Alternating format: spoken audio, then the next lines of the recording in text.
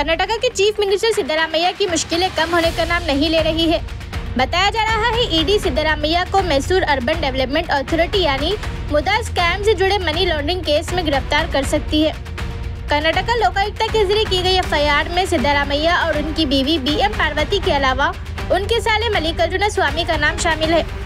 इस केस में इन पर इल्ज़ाम लगाया गया है कि सिद्धरामैया के साले मल्लिकार्जुन स्वामी ने देवराजू नामी एक शख्स से ज़मीन खरीदी थी।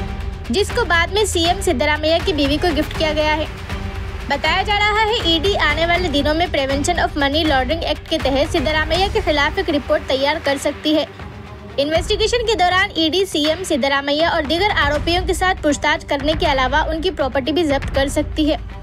सीएम सिद्धरामैया के खिलाफ चल रही इस इन्वेस्टिगेशन पर कांग्रेस लीडर का बीजेपी के खिलाफ इल्ज़ाम है।